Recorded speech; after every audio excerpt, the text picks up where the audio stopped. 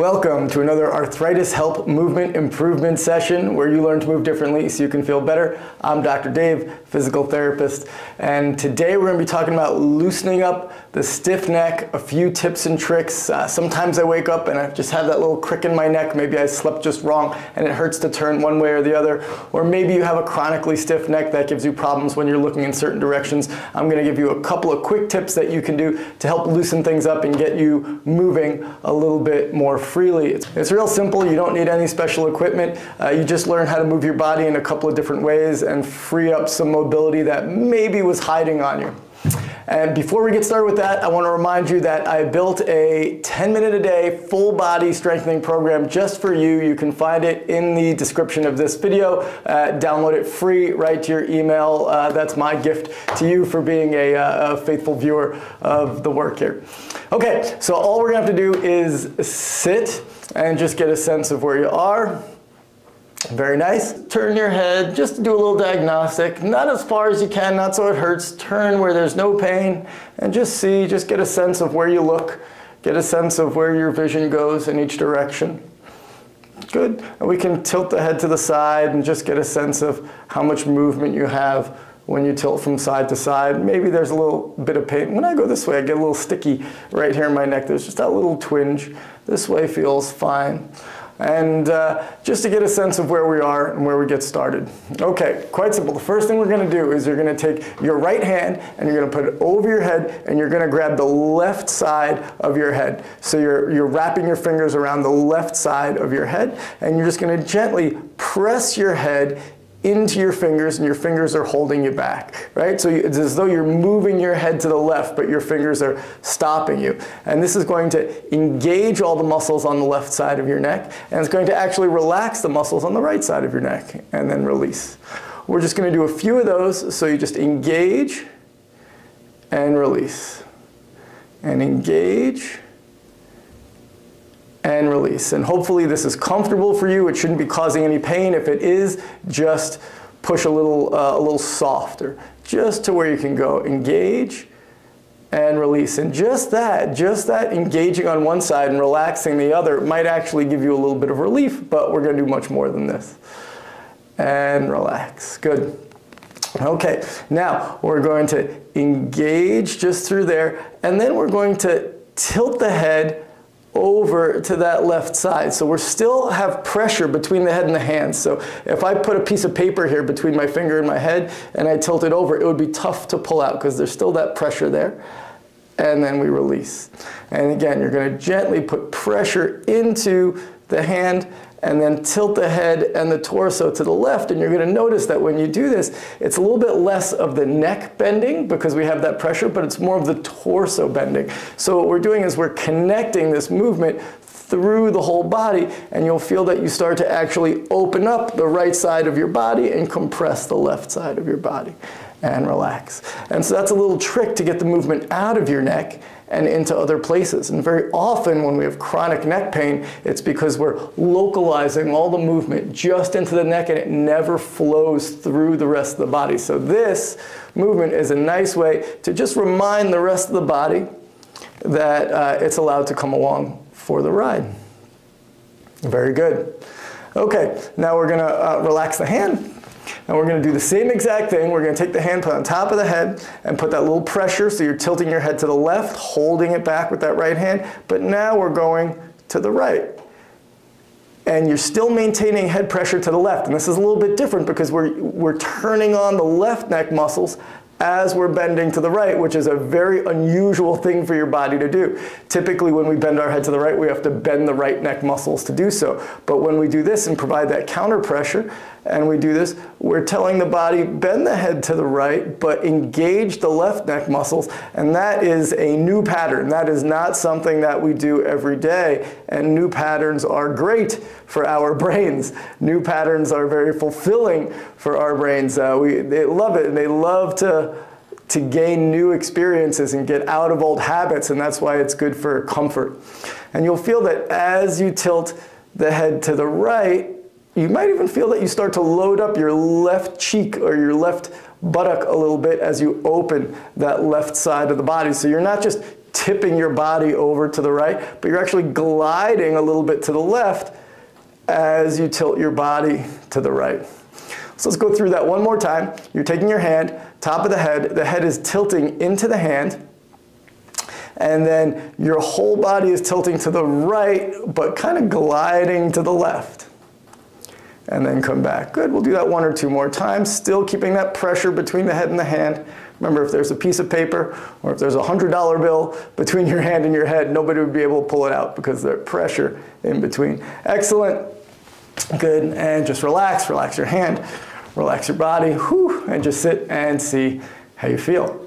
Good, even from here we can do a little turn and take a little turn and see if your head maybe doesn't move a little bit more freely just from that little action. And you can even tilt your head to the side, whoo, and see if that doesn't feel a little bit better. And for me, I have this right side neck problem when I tilt to the right after doing that significantly less pain. Not completely gone, but I'd say for me about 80% gone, which makes me happy.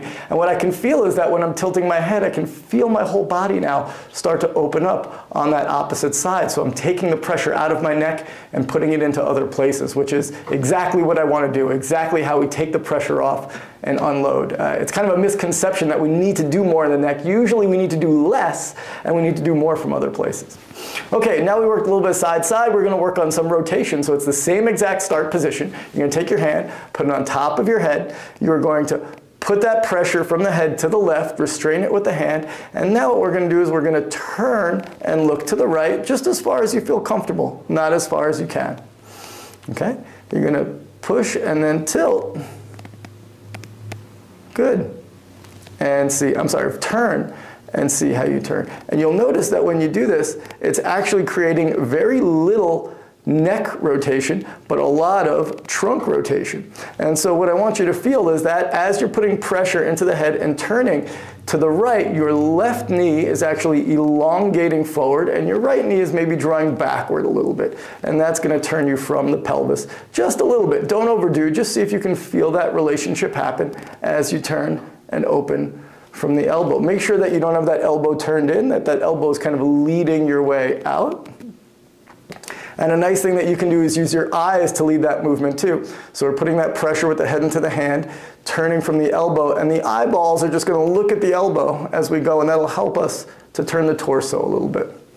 Good, one more time, little pressure, eyes and arms turn, feel maybe a little bit of turn from the legs as well, the pelvis, and come back and relax. Very good. Shake out the arm. It's a little bit of a grip or forearm exercise as well.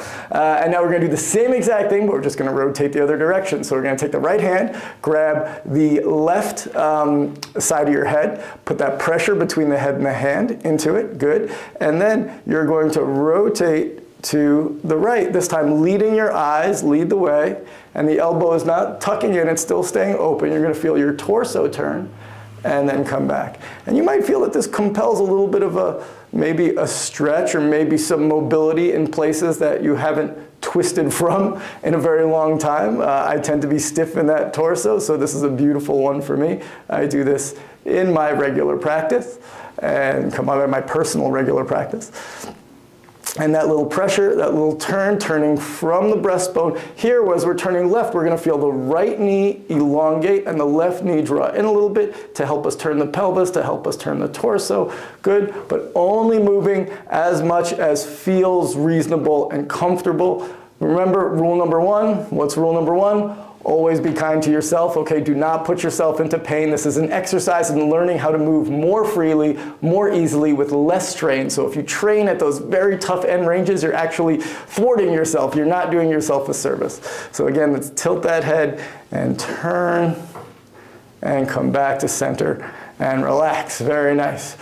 Okay, we did it all with the right. Now it's time to do it with the left. We're gonna take the left hand, we're gonna reach overhead, and all we're gonna do is grip the right side of your head with your left fingers and that little bit of tilt, the head is gonna tilt off to the right. That's gonna engage the muscles on the right side of the neck and relax the muscles on the left side of the neck.